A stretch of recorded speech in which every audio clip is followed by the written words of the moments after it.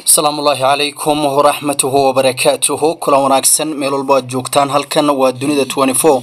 aad kala socotaan wararkii ugu dambeeyey ee caalamka iyo soomaalida intaba waxaana halkan idinku soo gudbinaa hadba wararka ugu waaweyn ee waddamada caalamka ka taag. Si gaara barnaamijkeenan waxaan ugu eegi doonaa xaaladihii ugu dambeeyey ee wadanka ethoobiya iyo dagaalada waqooyiga wadankaasi ka taagan oo marba marka ka dambeysa isa sii bedelaya culeysyadu waa ay soo badanayaan. Qodobka aan sida gaarka ugu soo qaadan doono waxa uu noqon doonaa wararkii ugu dambeeyey ee xaalada wadanka ethoobiya iyo dagaaladu aad moodo in ay gebi ahaanba weji cusub yeesheen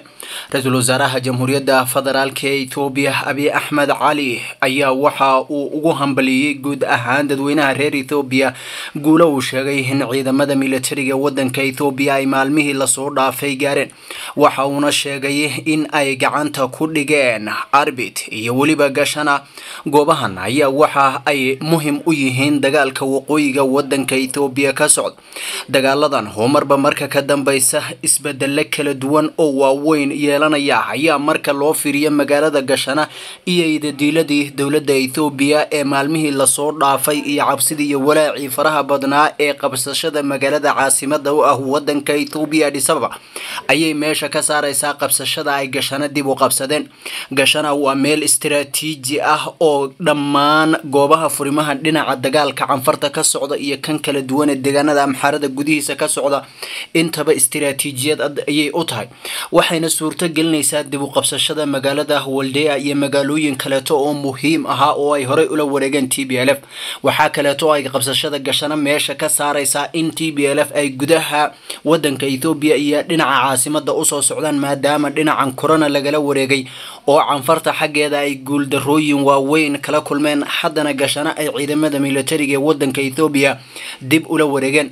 Dagaalka waqooyi intii uu bilowday muddo toban jeer ku siman ayay dagaalo kala duwan gashana ka dhaceen oo dhinacyadu ay kala qabsadeen.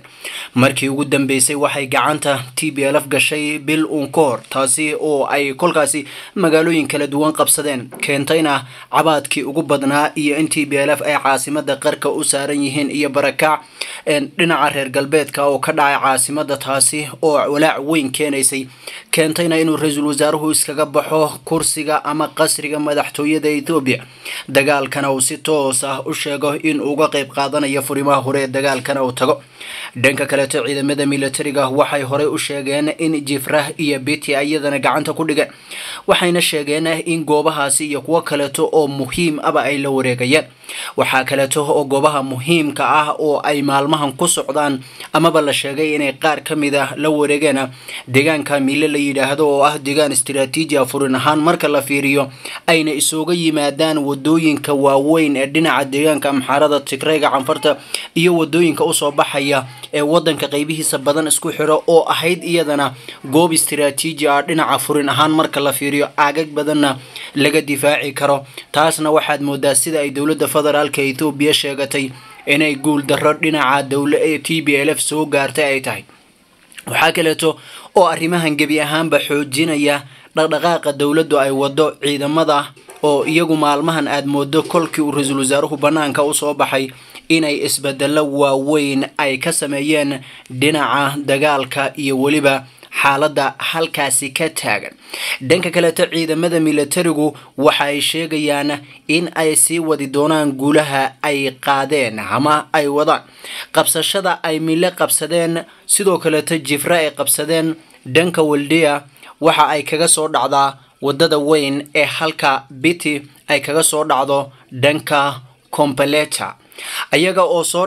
kolkii la fiiriyo dhammaan ciidamadu aada moodo hadda waxa keli ay ku dadaalayaan inay tahay istiraatiijiyad iyo in ay helaan goobo ayna suurtagal ahayn in halkaasi looga yimaado. Xilligii ay t b l f kobalaja qabsatay waxa ay dad badani sheegayeen in ay adkaan doonto in ay dagaalka markii la fiiriyo halka u socdo dowladda ay ku adkaan doonto laakiin marka laga qabsado dad badan ayaa waxay leeyihiin in ay gudaha wadanka soo galaan oo horey u soo socdaan way ku adkaan doontaa. Sababtuna waxa ay tahay halkaas iyada ah waa goob istaraatiiji ah oo aada muhiim ugu ahayd gebi ahaanba dhinacyada. Dagaalka ka socda deegaanada canfarta waa uu sii xoogeystay halkiisa ayuuna ka sii socdaa guulahana dhinaca dowladda guulo waaweyn ayay sheeganaya. Weliba ra'iisul wasaarihii ayaad moodaa inuu afhayeenkii ciidamada noqday oo isaga ayaa inta badan guulaha la gaaray iyo xaalku sida uu yahay. Mar walba halkaasi ka hadlay waxaa kaleeto oo iyadana dagaalkan ka socda dhinacan deegaanka amxaarada isna maanta ay ka sheegteen guulahaasi waaweyn oo ra'iisul wasaaruhu waa kii uu sheegay inay xaggan guula ka gaareen oo haddana dhinaca furimahan kaleeto ee deegaanka amxaarada uu u gudbi doono. Lama oga xaqiiqadeeda inuu xaggaasi u gudbay iyo in ay waxaasi oo dhan ay tahay istaraatiijiyad dagaal laakiin guulo waaweyn ayuu iyadana sheegay inay halkaasi ka gaadheen marka la fiiriyo dagaalada ay qaadeen iyo weliba sida ay xaaladdu u socoto intaba.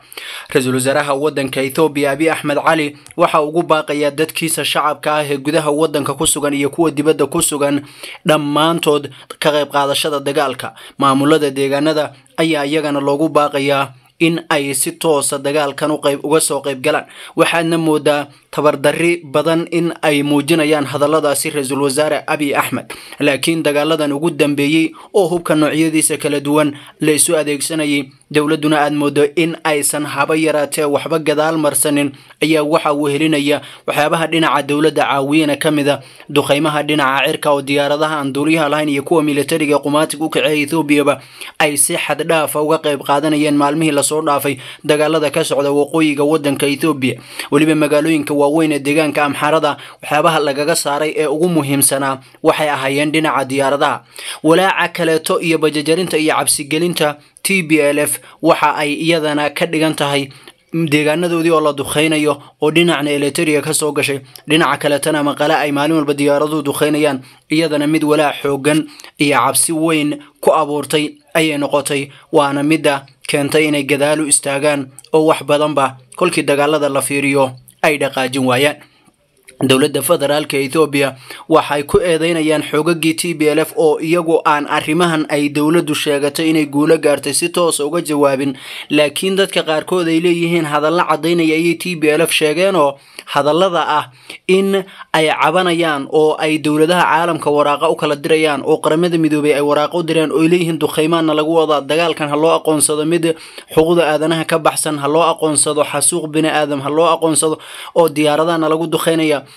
dowladaha iiraan iyo turkiga iyo sidoo kaleeto dowlado kaleeto oo imaaraadka carabta ka mid yahay ayaa diyaaradahan duuliyaha lahayn siinaya dowladahaas cadaadis ha la saaro hana laga qabto catowgan faraha badan ee t b l f bay dadka qaarkood u fasirteen in hadalladan dowladdu ay sheeganayso ay ka run noqon karaan ama ay wax ka run noqon karaan maadaama oo t b l f guulihii iyo halabsigii badnaa ay samaynayeenna uusan hadda jirin. Halkaasna aad moodo in dib looga celiyey kooxdii t b l f iyo dagaalkii aad moodo maalmahan inuu meel ku kufay. Laakiin sida caadada ahaydba kolkii uu bilo iyo toddobaadyo dagaalka waqooyiga ethoobiya ka socdo uu socdo hal meella uu ku ekaado hal mar unbay dowladdu halkaasi ka soo baxaysay laakiin isku soo duuduuboo dagaalka waqooyiga weji kale ayuu yeeshay. Intii ay dowladda dhexe sheegtay in ay weeraro bilowday dagaalka waxaa sidoo kaleeto